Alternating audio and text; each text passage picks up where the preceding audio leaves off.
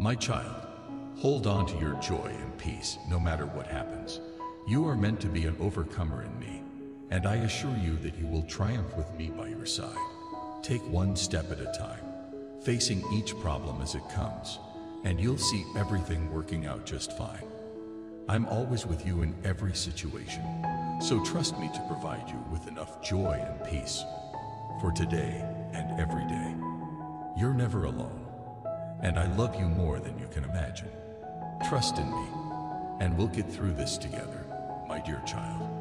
Type Amen if you believe. My dear child, come be filled with my abundant joy and peace.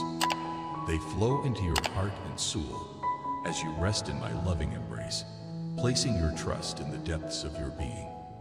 These precious blessings are essential for nourishing your spirit and providing strength in times of need. The joy of the Lord is a wellspring of power that you must not overlook, a delightful gift available to you always, regardless of the circumstances.